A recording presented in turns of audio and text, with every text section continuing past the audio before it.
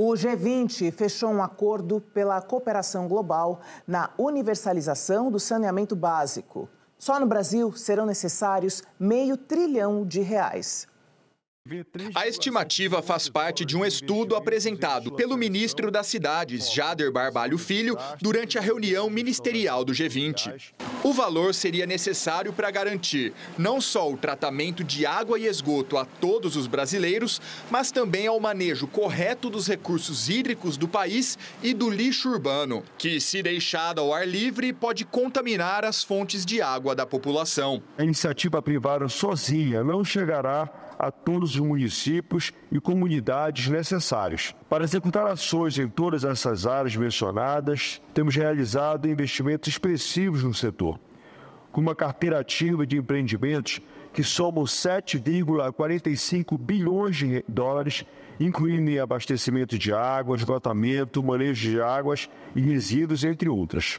Na reunião, os países do G20 lançaram uma iniciativa de fortalecimento dos serviços de água potável, saneamento e higiene.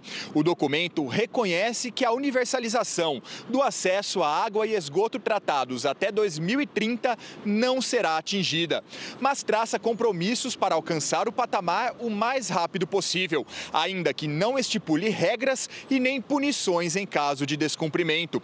O tópico é um dos 17 Objetivos de Desenvolvimento Sustentável das Nações Unidas. A agricultura, a indústria e a geração de energia são setores fundamentais para a nossa economia que dependem de nossas bacias hidrográficas.